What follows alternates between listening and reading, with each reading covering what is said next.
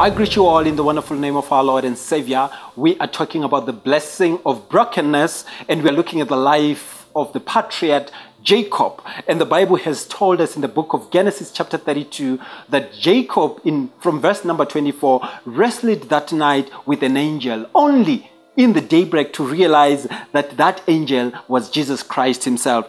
God's breaking process reveals to us the power of the flesh. It reveals to us that there are things within our flesh that God must get rid of.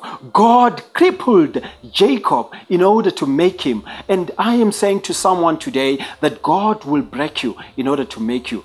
God will cripple you so that He removes your self dependence, so that He teaches you that when He touches you, you cannot fight with Him and overcome. So that He teaches you that when He comes in your space and He fights with you, it is not because he is, he is trying to prove anything else, but he wants to show you that when he fights with you, you are no match for him. And when God fights his battles against you and me, just know that it is because of his love and care and mercy that he allows himself to be in a battlefield with us. But otherwise, God cannot fight with men. God cannot wrestle with men, and God is not ready to wrestle with us. But it is because of his kindness and mercy that God wrestles with men. You see, God wanted to show Jacob the power of self will.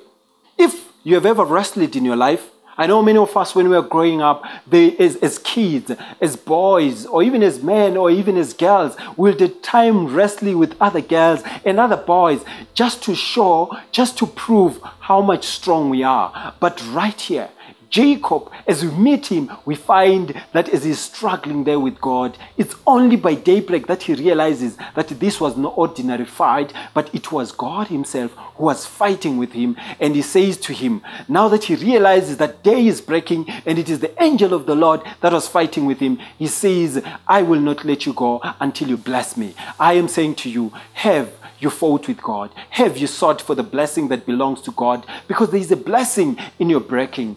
God wants to break you in order to make you. God wants to break you. God wants to cripple you in order to teach you that you cannot depend on yourself. You cannot trust yourself. You cannot trust the things that you used to do, but you can only trust what He is able to do in your life. And when God comes in your space and He has broken you, you have learned what it means to depend on Him. May God bless you. May God help you that you may know that dependence in God is the greatest thing that we can ever experience. That when God has broken you, you know that you cannot even walk. You know that you cannot even run unless you learn to lean on Him. And what others looked and saw as crippling to Jacob, it was leaning because leaning is the greatest thing that we can ever do when we are depending on Jesus Christ. And may you be blessed as you meditate on this message. May God bless you and may God be with you. Amen.